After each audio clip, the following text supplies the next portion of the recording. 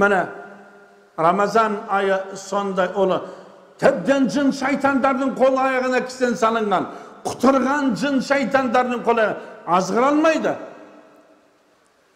негізінде мысалы құптан намазы төрт ракат парыз екі ракат сүннат үш ракат витр болатын болса соған да келмейді ғой жамағат бірақ таравих намазда қарасаңыз бүтін жастар үміт қылмайтын не бір адамдар отырады ғой қарасаңшы өмір е мына адам болмайды деген адамдарың бар ғой. Тәрәбіде көзі жылпылдап отырады. Тәрәбіден қалмайды неге ол құтырған жын шайтандардың қол аяғына кісен салынған? Міне таравих тоқтайды. Таравих тоқтағаннан кейін мына айт басталғаннан кейін жын шайтандардың кісендерінен шешілгенін сезесіз. Тіптен бамдатқа адамдар келмей қояды. Құптанға адамдар келмей қояды.